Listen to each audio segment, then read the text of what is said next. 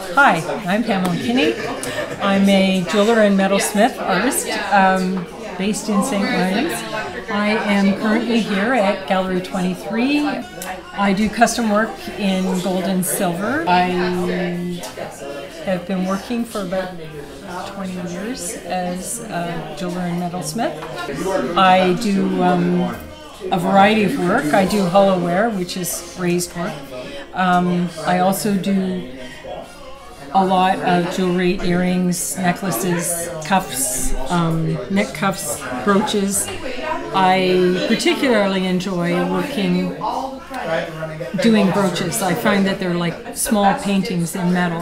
I use a variety of metals. I was once a printmaker, previously a printmaker, and uh, you can tell by the way I handle my metal that I use a lot of etching techniques that I was a printmaker. Um, I love doing custom work for people. I find that a challenge and uh, very rewarding. Come by, have a look, see what's here at the gallery, and um, if you don't see what you want, pick up a card, contact me. I'll be happy to work with you. And I'm on the Norfolk Studio Tour.